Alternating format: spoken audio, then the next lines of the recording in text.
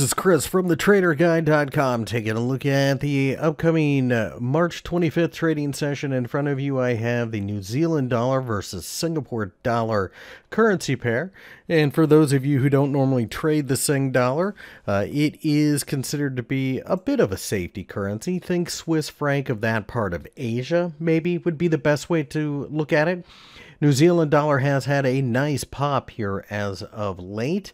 Uh, but, uh, you know, as you can see, we fell all the way down here, closed up here, we've rallied, uh, but now looks very vulnerable as we have given up a bit of strength. So as I plow into the short-term charts, I start to look for an entry that makes sense on a breakdown. Now I do see a cluster here right around 83. So sub 83, in other words, minus or uh, below 83, I'm willing to short this market, and I think a move to 81.20 is feasible. Stop loss, you got to keep your risk to reward ratio correct.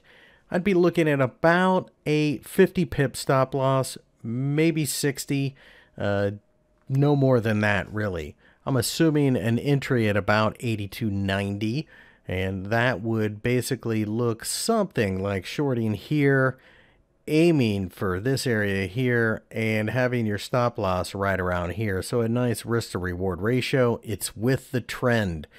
Alternate scenario, that was scenario one. So alternate scenario is if we find ourselves pressing 0.85, I'm willing to sell there. Willing to aim for 82.60.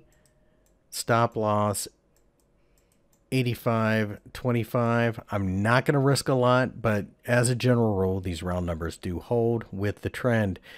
Remember this is more or less a risk off trade and we've had a nice risk on run over the last 24 hours um, but that's not uncommon in these bear markets i don't know that enough's changed quite yet to get the new zealand dollar skyrocketing so uh, this is a good way to avoid the dollar. The dollar is going to be messing with the stimulus package, uh, but it does go with the trend quite nicely.